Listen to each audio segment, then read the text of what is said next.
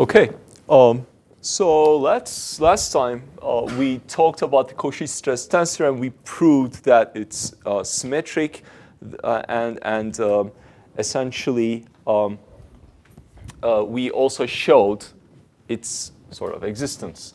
And the, the idea is that the, in general, the traction as an Eulerian field, let's say, is something that depends position and time, but also on the normal to the surface on which that traction lives.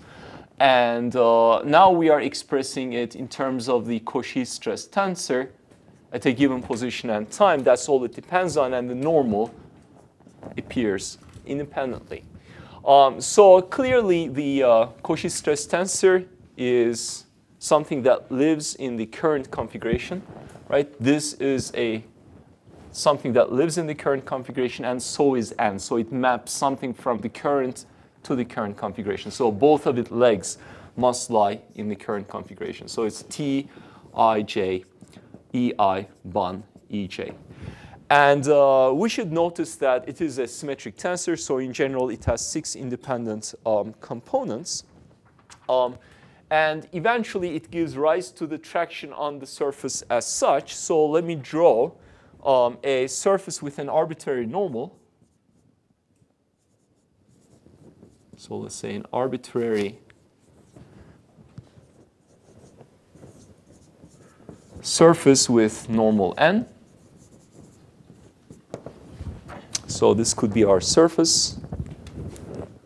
Like we're looking at a point on the surface, and of course the surface itself could be curved, but I'm just going to, for convenience, imagine as though it's locally almost flat, and the normal to the surface is in that direction, right? Um, now, what we should realize that eventually when you calculate the traction through this expression, the traction itself is not necessarily something that lies normal to the surface. And we've already seen that when I was trying to link the expression for the Cauchy stress tensor components to the usual components from undergraduate mechanics, we were looking on a surface, and on that surface there are three components of the stress, the normal and the two shear components. And therefore, when you put them together, you get the traction um, traction vector, if you like, and that vector is not going to be in general normal to the surface, that is t. So it will have a normal component, and let's say that the normal component is actually sigma n times the normal, and the tangential component is, let's say, tau. So in other words, I could in general decompose t equals tn, uh, into a normal part and the remaining tangential part.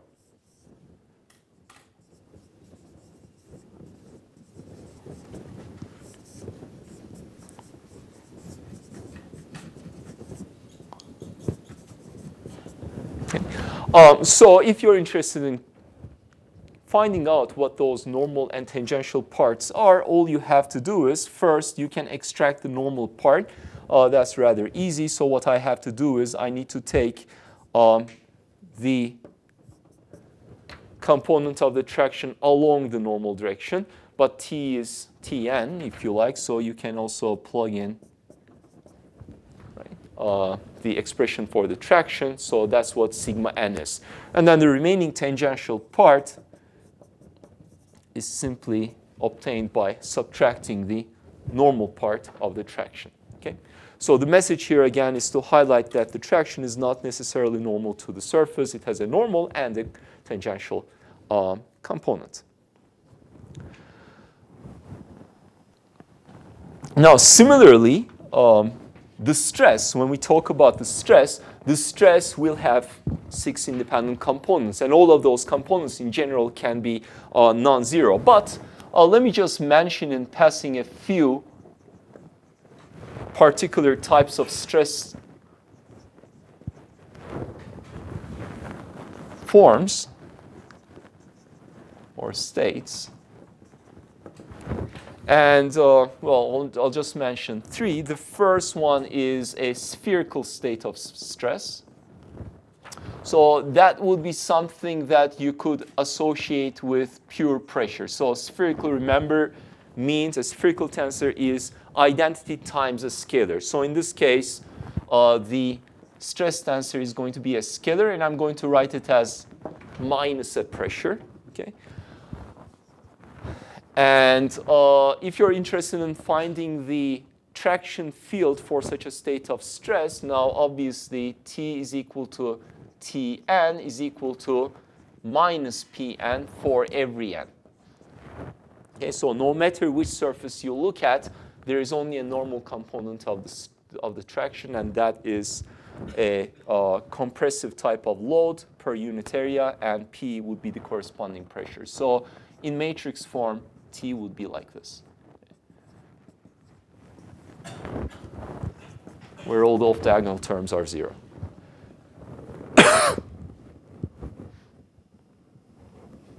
so that would be the first one. Now, then you could have a state of stress where you again only have diagonal components, but those components are not equal to one another. Uh, that would be a case where you have um, uniaxial, biaxial, or triaxial, let's say, um, tension or compression, depending on whether the stress is uh, positive or negative. So I'll just write it like this. So I would have sigma 1, sigma 2, and sigma 3. All the remaining components, again, are 0.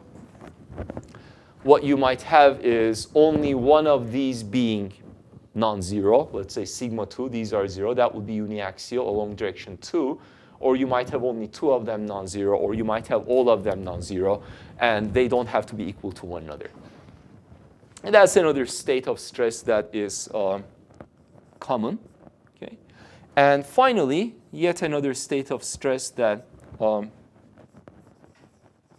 one might be interested in is simple shear, where now you have all the diagonal components equal to zero, but the off-diagonal components which have to do with shear are non-zero.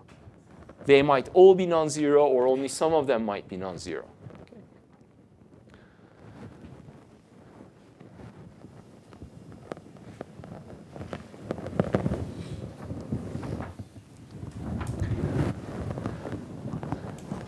All right, so now at this point, we have a, um, that's sort of like a summary and a little bit of extra information on, on the stress. So what we have so far is, right, um, in terms of balance laws, that's the topic of this set of lectures, right? Um, so we have developed the, for the linear and angular momentum balance, the spatial, right, forms of the balanced laws in integral and local form. Okay? And in doing so, the Cauchy stress was something that appeared as a uh, key concept, right? So now what we would like to do is just like we've done for the mass balance and uh, uh, just like we've discussed several times, right, there are always two configurations, the reference and the spatial one. The spatial one is the physical one, but the reference one has certain, uh, certain conveniences. So for that reason, it's also meaningful and really profitable, let me say, to eventually um, express the balance laws on the reference configuration as well. And in doing so, what we will need eventually is a stress tensor. In fact, there isn't only one, there are several, uh, that also somehow live in the reference configuration, similar to how we wanted to uh, express the mass balance in the reference configuration, and we uh, identified or defined a referential density, right? So that's our purpose now. We're done pretty much with everything regarding balance laws, but everything we did so far was in the, um, except for the mass balance, everything was in the spatial configuration. So now we will revisit linear and angular momentum balance, and we'll try to develop the referential forms. Okay. And uh, for that, I will again revert to, for this purpose, revert to a concept that we already know from undergraduate mechanics. What I'm going to do is I'm going to take a bar and I'm going to pull on that bar with a force F. And this will be the reference configuration of the bar. On the reference configuration, if I take a cross section, there will be a certain referential area, let's say capital A associated with that cross section. And now when I pull the bar, and we've done this experiment in our undergraduate mechanics course, right? You do a tensile test. Your specimen is not exactly of that shape, but eventually at least the gauge portion that you're monitoring, eventually you know will be subjected to some uh, necking phenomena, and this specimen will deform into a, another shape, right? It will get longer, and it will also have this neck forming. Okay, so that's not the best drawing, but okay. So that's now the new uh, form. The force is not necessarily the same, right? Um, now, but what I like to imagine is uh, essentially the concept, or I'd like to imagine this, these two figures to be the referential and spatial representations of the same object. So don't think of it of this as being an initial force that is smaller than that force. I keep increasing the force and it deforms. Yes, that's how this deformation occurs. But when I draw these pictures, I like to think of it this way. There is the, the current and the referential configurations. And there's a certain physical force. The physical force is always the one that is associated with the spatial configuration. That's, there's a force that I apply, and I'm also drawing that force just for graphical purposes on this configuration as well. Yes, this configuration is the undeformed one, but I'm indicating the force there anyway. Okay? So now once I have these two fixtures, and of course the area is getting smaller, and now on the deformed configuration, the spatial one, the cross-sectional area in the necking region is uh, smaller. Let's indicate that with small a. So now you will remember that there are two stress fields or stress values that we talked about. Uh, we talked about the engineering stress, but then we said, well, in reality, the cross-sectional area is getting smaller, and therefore, uh, the true stress, right, is not force divided by the original area, but actually the deformed area. And the engineering stress that we found convenient to work with uh, because we often assume that the deformations are small, uh, simply omits the fact that the, uh, the cross-section area is subject to a significant change and always divides by the original area, the referential area A, right? But in this course, we're not going to make any such assumption in general. We will allow deformations to be large. Okay? So even in 1D, now what we can do is we can simply divide right, through A, multiply with A, and now I notice this part to be the true stress, and the remaining part is a ratio of the areas in the original and deformed configurations. So what we see from here, the message is not really the, these particular forms, but rather the fact that if I want to define a measure of stress on the reference configuration, sort of, right? There's a force, but I'm dividing through an area on the reference configuration, or dividing through an area on the deformed configuration, right? These things are related to one another through the knowledge of deformation. That's the message here. Okay, so if I know how deformation occurs, I can relate alternate descriptions or definitions of the stress. So knowledge of deformation allows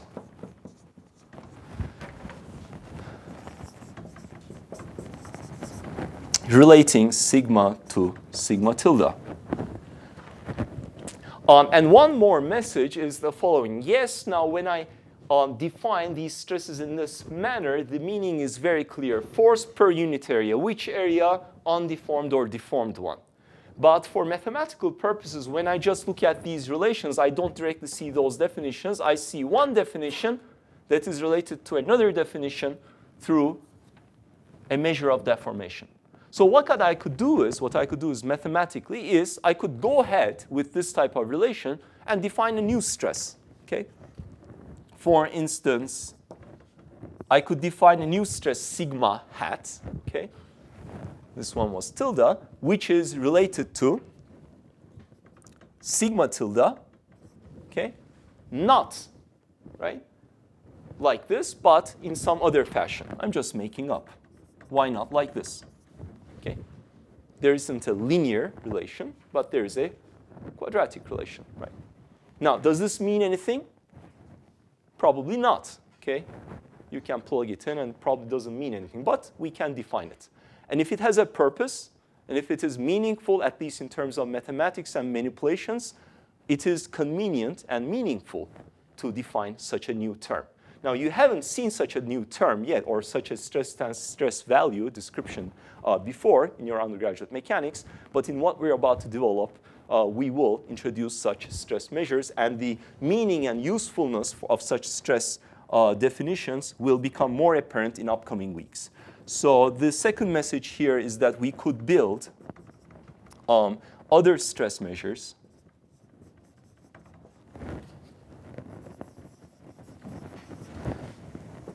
um, without, I will say, physical meaning. It, or at least, if you want, a better way to put this would be without any immediate physical meaning.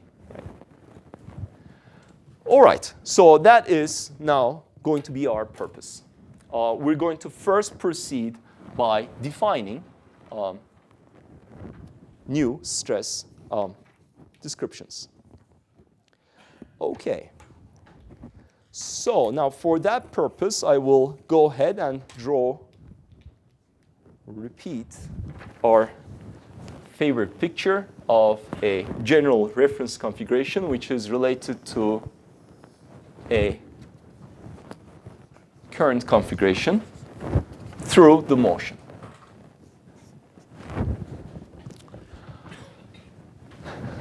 I'm going to take a cut Of course, after deformation, that cross section is going to deform in some general manner. But let us concentrate for a second on a area of infinitesimal size, let's say of size d capital A, with normal capital N. And after deformation, that infinitesimal area will have a new size d small a and a new normal n.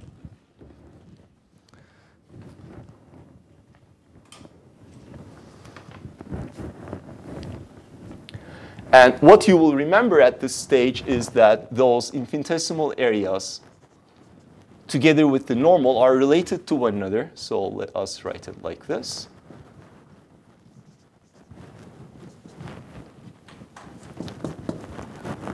Was fine. And dA is F cofactor capital N dA. And this is what we called Nanson's formula. This is what we derived as the Nanson's formula. Okay? Where F cofactor, again, remember, is JF minus transpose. Okay? So if I know the motion, I know the deformation gradient, and I know exactly how that map occurs. Now, additionally, at that given point, at this point that I'm uh, monitoring, I have a traction. So I'm looking at a certain point at a given time, and there is a certain normal, and that normal allows me to calculate the value of the traction through the stress field. Okay.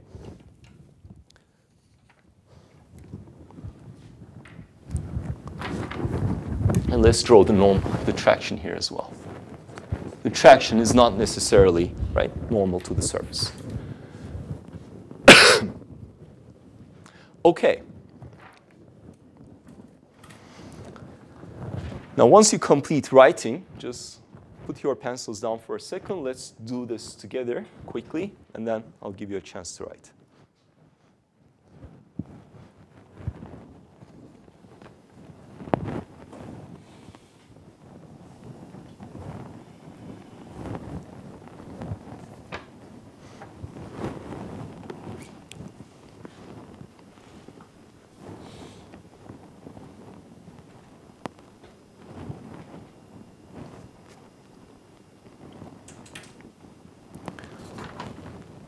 Okay, so now there is a traction that's like force per unit area, and there's an infinitesimal area. If I multiply this force per unit area with the infinitesimal area, I get an infinitesimal force. Let me call that force dF. Okay, so it's T times dA. And of course, T is nothing but Tn, right? So I have that incremental force equals T and dA. And this is a force that acts on the current configuration, right? Now, it's a force. If I resolve that force per unit area of the deformed configuration, I get a traction which is T, right? Now, what I'm going to do is I'm going to resolve it per unit area of the undeformed configuration. Okay. So instead of writing T, therefore, if I resolve it per unit area of the undeformed configuration, I better put something else here, right? Because it's not equal to dA, right? So I'm going to put P, okay? That's now another object. Now, what you should notice is that eventually I'm resolving the same force. This force itself is a Eulerian object, right? It has bases that live, or components that live on that configuration. And therefore, this is now also a vector that does live on the current configuration. But when I'm defining it, I'm defining it per unit area of the reference configuration. So this has no bases, etc., and therefore this still preserves the configuration that dF is associated with. So this is still uh, acts, still a force which physically acts on R. It is in the same direction as T.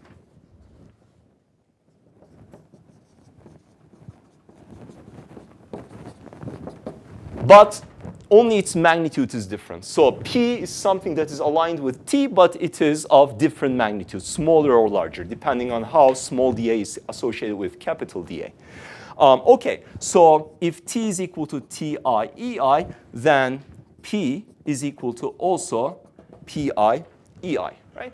And from these two relations, I find that P is equal to T d small a over d capital A.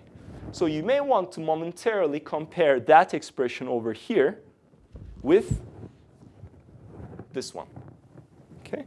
So T here is the Cauchy stress. It's the original thing. It's like the true stress, okay? Or it's like the true traction.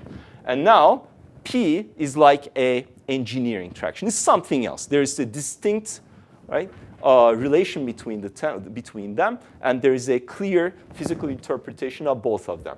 Incremental force resolved on either one of the configurations.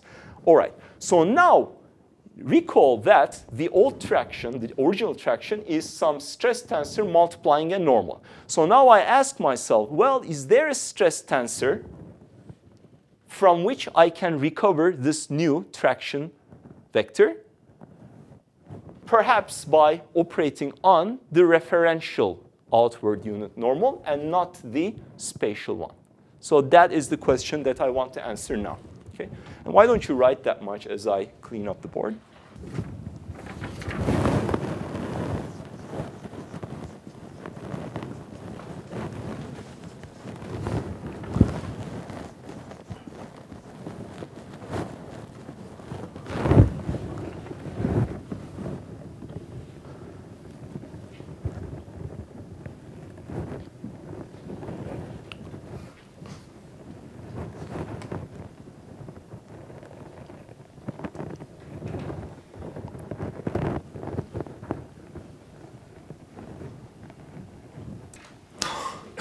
Okay, so the goal is to construct a new stress tensor. And again, I'd like to ask for your attention just uh, for a, for a few minutes again.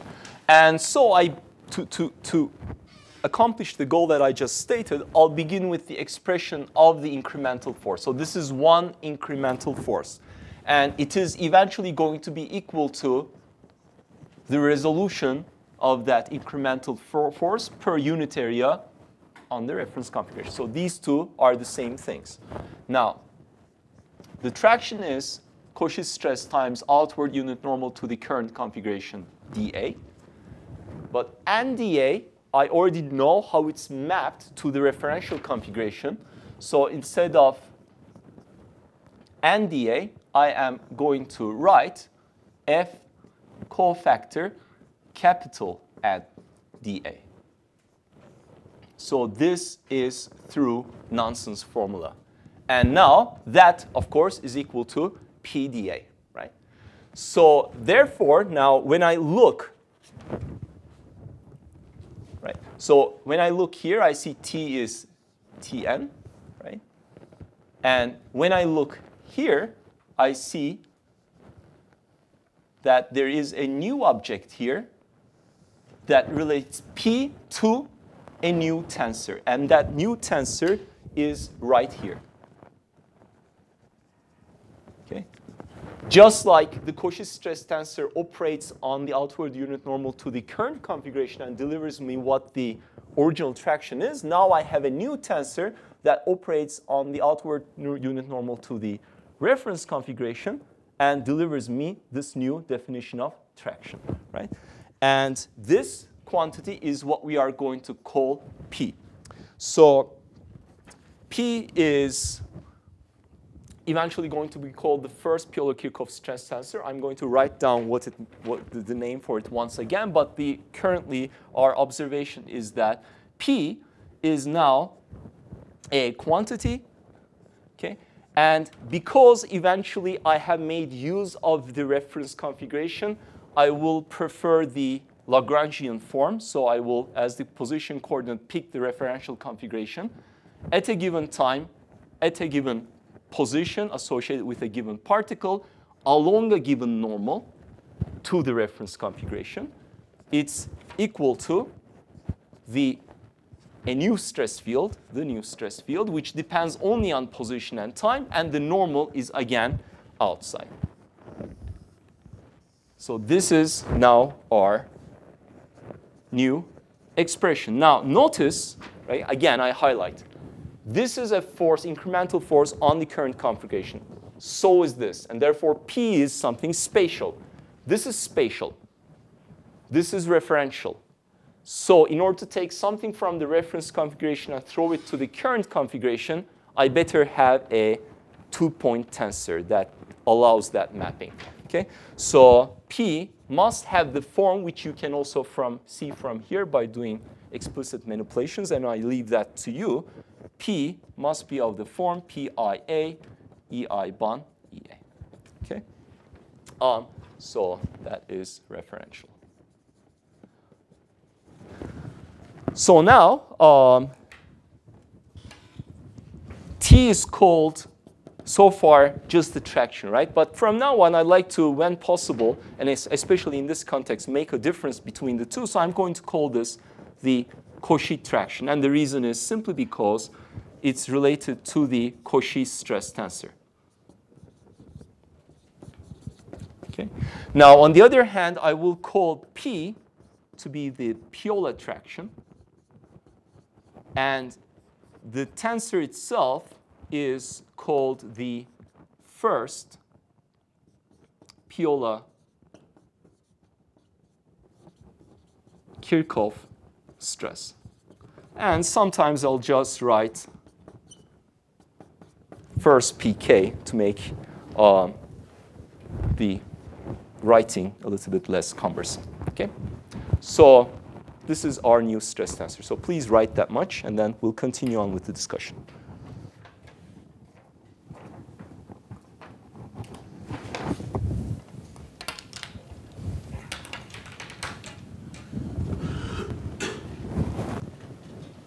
So clearly, there's a reason why we attach the prefix first to the Piola-Kirchhoff stress tensor because there are others uh, notably, there's a second Piola-Kirchhoff stress tensor that I'm going to mention at the end of this lecture.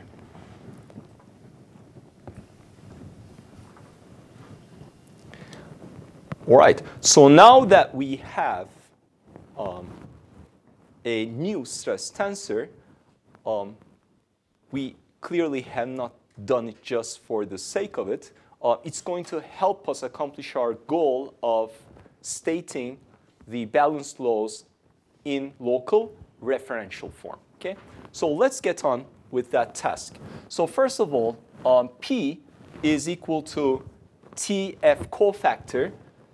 F cofactor is JF minus transpose, transport.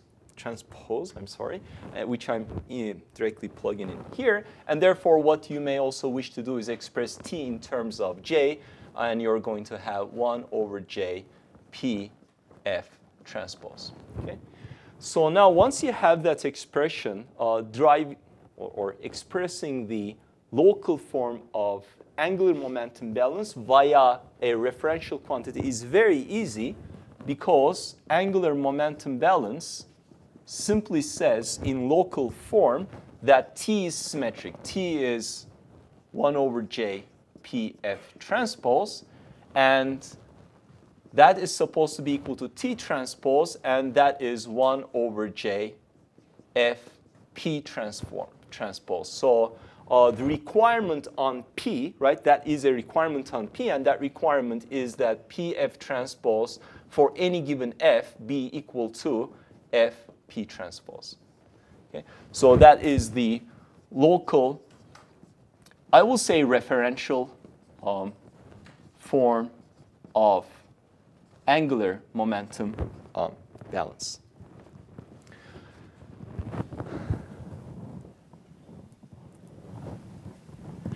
I'm not going to go ahead and explicitly state the integral referential form of angular momentum balance. You can do that on the side yourself, but I will do so for the linear momentum balance, and that will give you a guide. Actually, the transition is very simple. So for the linear momentum balance,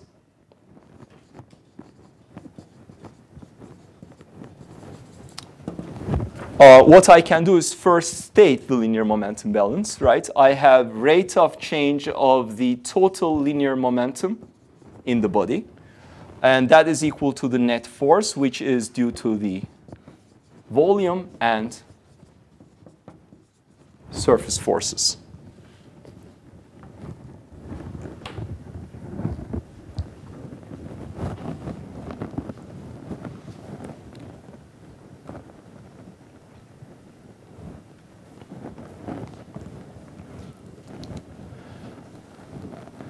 Um, so now, when I look at these three terms, right, and just, just have a look here for a second. When I look at these three terms, right, so I can make transitions. So my goal is to make a transition to the referen reference configurations, domain and surface-wise, right?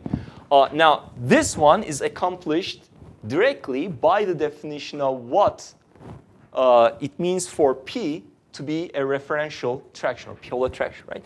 So this is simply integral P d capital A. And immediately I have pulled back the integral to the refer referential uh, surface. For this, I really don't need to do anything. It's going to be rho naught d capital N V. And for this one as well. Let me do it for this one. It's similar for that. It's d dt integral r naught rho naught V d capital V. Okay. Uh, now, of course, to derive the local forms, that is not sufficient. That's just the integral form. For that, I need to move the derivative inside, and I need to convert this to a volume integral. Now this, now let's start with that one because that's super easy. In fact, we've already done that. So because everything is referential, I can just move the time derivative here inside. And this is going to be equal to R naught, rho naught, V dot, D capital V, right? And on the other hand, to convert this to a volume integral, now I have the relation which says that the Piola traction is the Piola, first Piola-Kirchhoff stress tensor times n, to which now I can apply the divergence theorem. But now when I apply the divergence theorem, notice that I'm on the reference configuration. This is a referential outward unit normal, and therefore the divergence is going to be a referential divergence, right?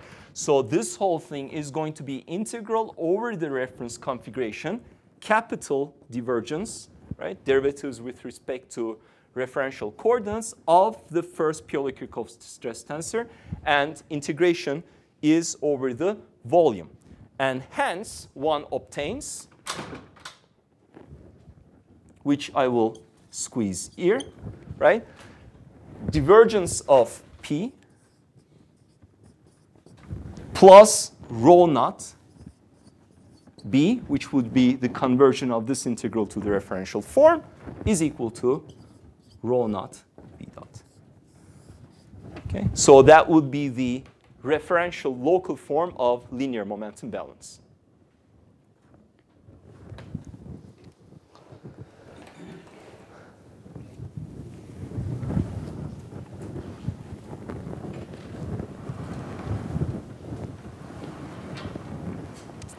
Okay, so we're pretty much done. Uh, let me just summarize the local forms of the balance laws together.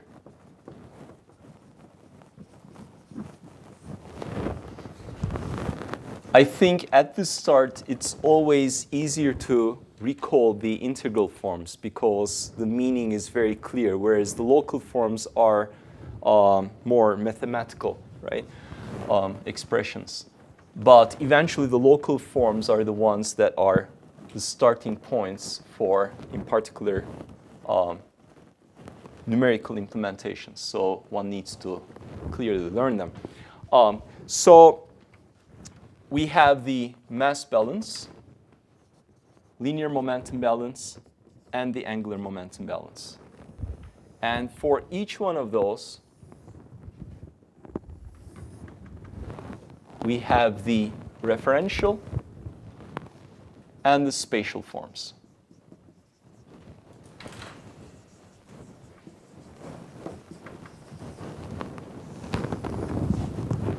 Okay? They are entirely equivalent. It's just different expressions of the same idea. Well, the mass balance uh, says in local form rho dot plus rho divergence v is equal to zero. Okay. Um, the linear momentum balance says that divergence of t plus rho b is equal to rho v dot. And the angular momentum balance essentially puts a constraint on the Cauchy stress tensor, and it says that it must be symmetric. Okay. The referential forms are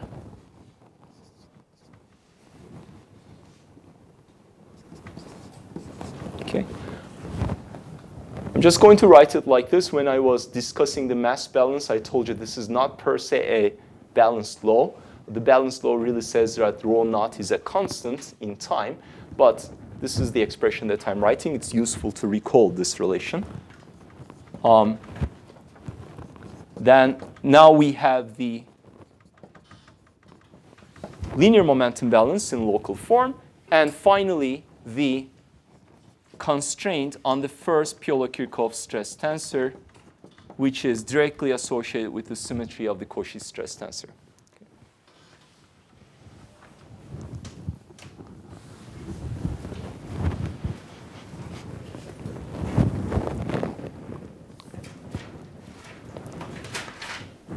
So when you look at these expressions, right, for instance, what you can do is you can concentrate on the left column, which is a, well, this is a constraint, right, which you can actually, turns out, easily satisfy, and we're going to see how that comes about.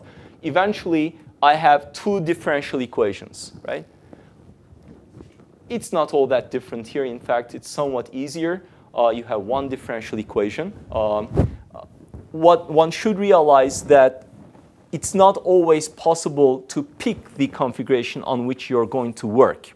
This is a matter of convenience. So what I can tell you is if you're a fluid mechanician, you are going to actually live on the current configuration because for most common fluid problems, the concept of a reference configuration is not even well defined, right? But this is a solid mechanics oriented course. And for solid mechanics, often one chooses the reference configuration. Not always, but it's a common and convenient and certainly a possible choice. Okay? Uh, so they're equivalent, but if you look at either one, there, there are some differential equations and possibly some constraints. If you want to solve such differential equations, you see that there is some spatial and time derivatives. And in order to solve them, you need to specify or complement these with appropriate initial and boundary conditions. Okay? So these are all subject to appropriate initial and boundary conditions. Because together they define an initial boundary value problem. We're not going to uh, busy ourselves with the statement and the solution of such problems in this course. But if you are interested, that's what you have to do. You have to be careful um, about the boundary conditions and the initial ones. All right.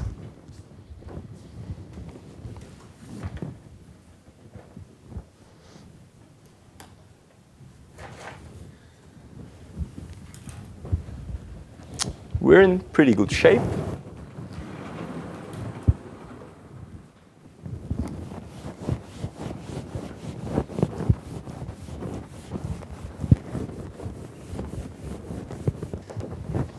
We happy with this picture so far?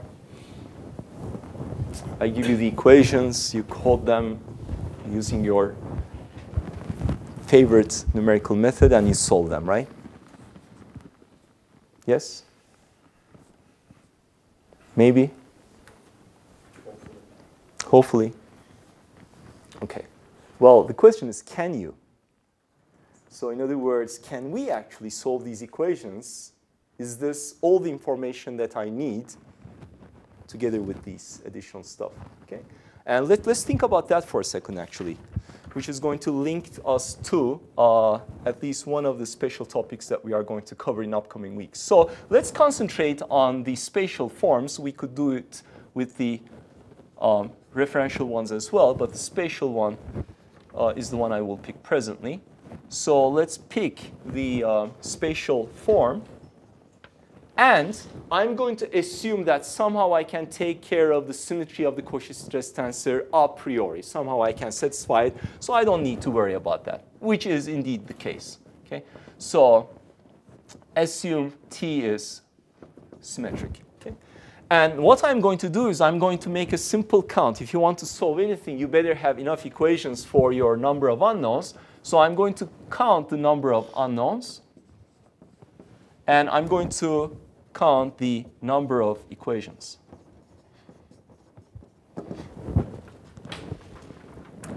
Um, and let us do that together. Well, the number of unknowns. First of all, I need everything intrinsically has this deformation gradient appearing. And that, and eventually I have the acceleration as well in there through the velocity. So therefore, the motion itself is certainly something that is unknown. It's a vectorial field.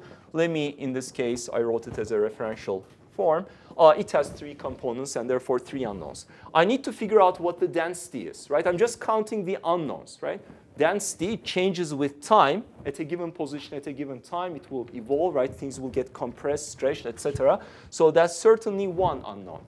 And plus, I need to, as a result, find what the stress is. And I assume that it's symmetric already, and therefore there are six independent components. I sum them up, and there are uh, there are 10 unknowns. Okay?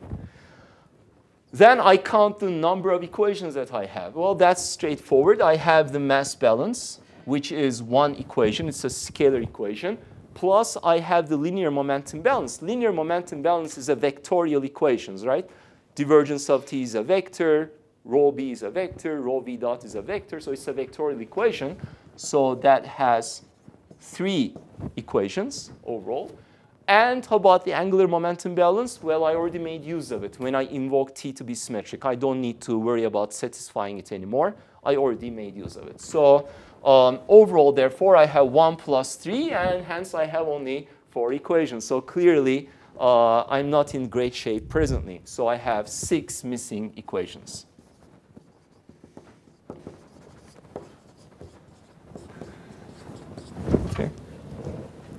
And the resolution to that dilemma, of course, as you will remember from undergraduate mechanics, is to somehow relate motion to forces, or in this case, to stress. So what we must do is we must relate kinetics to kinematics.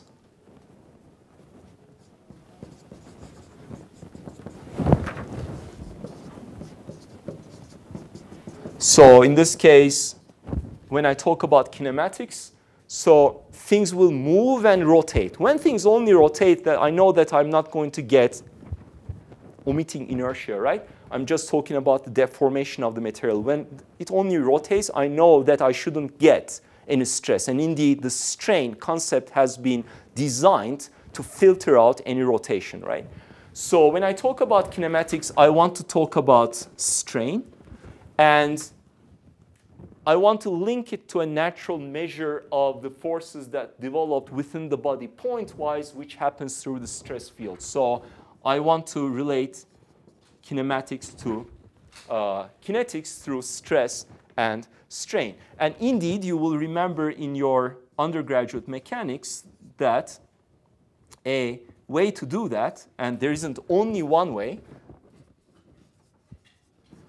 in undergraduate mechanics, for instance, when we were talking about solid materials that undergo small elastic deformations, right? That's a very specific set of instructions for us to follow in relating stress to strain. So when we have that very specific scenario, we could make that relation through generalized Hooke's law, which says that, and I'm going to here without discussion follow standard undergraduate notation, one would write stress as a vector. It's already symmetric, so it has six independent components. In Voigt form, for instance, you would write them as a vector. And now on the right-hand side, you have a strain. Again, everything is put, it's also symmetric, um, at least in, the, uh, in our versions as well, but certainly in the undergraduate one. So it's a six by one vector. And the most general way to relate a vector to a vector is to throw in a tensor, or in this case, a matrix in between and which we call to be the stiffness matrix. That would be a 6 by 6 metric, and eventually it has 21 independent components, etc. Um, right? So that would be the relation? So now what I've done is I've thrown in, right, six additional equations that relate the six components of the stress to the components of the strain, which says that, well, the only way to get stress is if you have a non-zero strain in the material. Okay? And to get a non-zero strain, it's not sufficient that you rotate. You have to do something else. You have to pull or you have to shear, etc. So this is where your additional equations come from. But this is just, and we need to realize that this is just an example. Depending on how much the material deforms, depending on how it deforms, whether it's elastic or inelastic, and depending on whether the material itself is a fluid or a solid or something fancy in between, uh, these expressions will change. But one way or the other, what you have to remember is that you need to relate stress to strain and related things like the rate of strain, etc. Okay? How fast the strain changes. Remember, for instance, if you have viscoelasticity, it's not the only amount of strain that influences the stress is how fast you apply that strain, for instance. But in the end, kinetics should be related to kinematics. And always you will get these six additional equations that give you closure, and now you have a well-defined system of equations, okay? We're going to eventually discuss partially those as well in our special topics. Um, so with this additional information, I know precisely how to attack those set of equations. I have a well-defined system, and I can uh, solve for it. All right? Any questions so far? Okay, then what I'll do is uh, just also as promised, define a few other stress fields. So, so far I've introduced the uh, Piola-Kirchhoff stress tensor, and the reason was that it naturally leads to the expression of, in particular, the linear momentum balance in local form, as well as the integral forms in uh, referential form. Um, so now, all of these eventually arise out of some sort of need. Those needs we will not perhaps encounter or have a chance to discuss all of them, uh, but, but at least some of them you will encounter. So one can introduce other stress um, measures. And the first one is um, it's not as common as the other one that I'm about to mention, but it's simply the Jacobian of deformation times the Cauchy stress tensor. Okay. Very simple definition. This is called the simply the Kirchhoff stress tensor.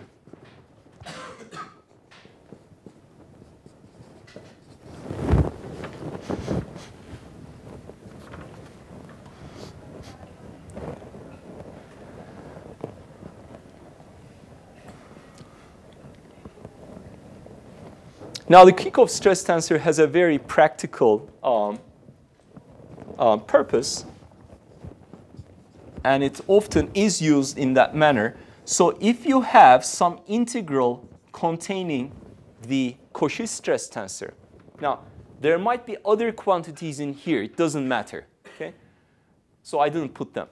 Um, if you have some integral containing the Cauchy stress tensor, so now this is T dV.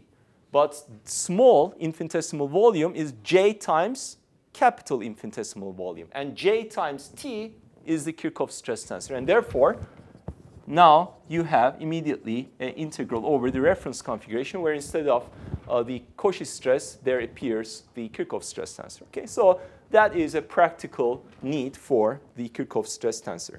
Simplifies uh, expressions tiny bit.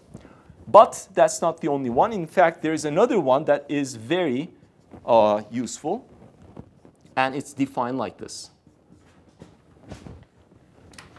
And as you might guess, um, this was the first Piola-Kirchhoff stress tensor, and this is going to be the second Piola-Kirchhoff stress tensor. And um, from this expression here, it's not clear what the purpose or um, particular form is, in fact,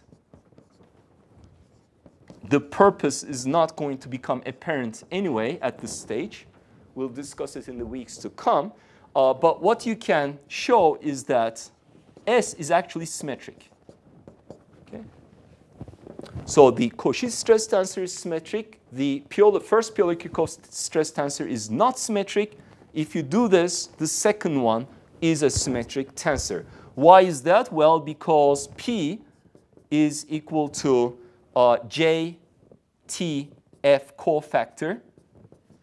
Okay, so F inverse and P is JTF cofactor, which is, or J F minus transpose, transposes F cofactor, right? So, and now you notice from here that if I transpose both sides, I still have the same form. Uh, and alternatively, just like we did before, you can express the Cauchy stress tensor in terms of the second Piola-Kirchhoff stress tensor, and it would have this nice expression T is equal to 1 over J Fs F transpose.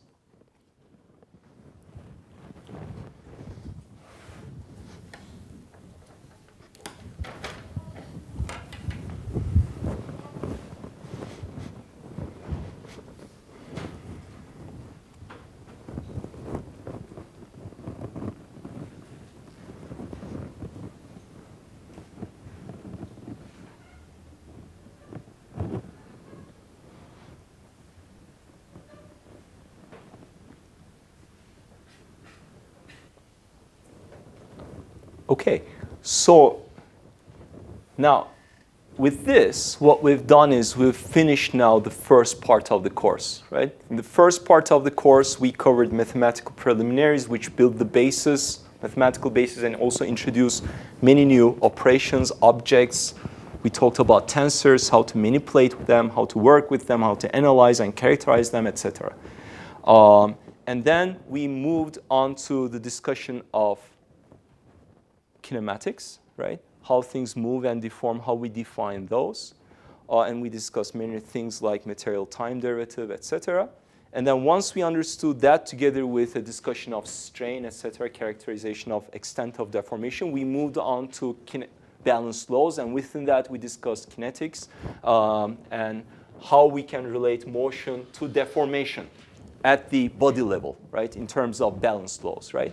And there we discussed um, uh, also always local and referential forms because eventually they will be useful. And in the future, if you are interested in, a fur in further, uh, uh, let me say, uh, learning this topic, uh, depending on your field of interest, you will find one form or the other more useful probably than the other one. Um, so um, so what we've done, the way the course is structured, and it's a good point to remind you that of that structure at this point, the way the course is structured is to, was to cover this first part in as concise a manner, I would say, as possible. So I tried to make as little as excursion as possible into the into side issues, like for instance, once in a while I discuss open versus closed system, or I would measure, let's say, some time derivative in the context of a ALE framework, etc. But those were really, really side issues, and many possibly important things like objectivity or, uh, I don't know, um, uh, perhaps some tensorial operations. Uh, some of the things perhaps deserve more attention than I found a chance to uh, provide here. But the structure of the course is such that now, since many of you will never have a chance to, or will not perhaps uh, um, be interested maybe in um, pursuing continuum mechanics further, what I want to do is instead of going into the depths of particular intricacies, I want to show you how this machinery helps us uh, formulate problems that you are already familiar with, and also how it will eventually help us attack some problems perhaps you're not familiar with, but I will be able to communicate to you the idea of line of attack very, let me say, um, um, efficiently through the language of continuum mechanics so that you understand how continuum mechanics becomes useful eventually, right? Uh, so this is, for some of you, your only chance of understanding and seeing, learning about continuum mechanics. And within that chance, I'd like to make use of uh, uh, also, or i i like to make use of a possibility for demonstrating you of the usefulness, right? And therefore, the second part from now on is going to be on applications. Okay? And there are a number of applications which proceed in a, I would say, rather systematic, through a systematic choice. So first, right, what are we trying to do with all of this? We want to analyze how things move and deform. So let's start with the simplest thing, right? What if the thing itself does not move, deform at all? It just moves. So that would be rigid body dynamics. So that's what we're going to start next. Um, so you're going to see how equations of motion that you already know emanate from the framework of continuum mechanics as some particular case where we know exactly what the motion is because the rigid body motion, pure rotation and translation. It can be an arbitrarily sized uh, and shaped object, but we'll make use of the balance laws, etc. Okay, in doing so. So that will be the first one. And the equations we get are not any different from what you already know, but they will be in 3D. And now you understand where all these tensors or the matrices that you had seen before come from, etc. And uh, then we will say, well, OK, let's allow it to deform, OK, but a little bit. So we're going to look at small deformations.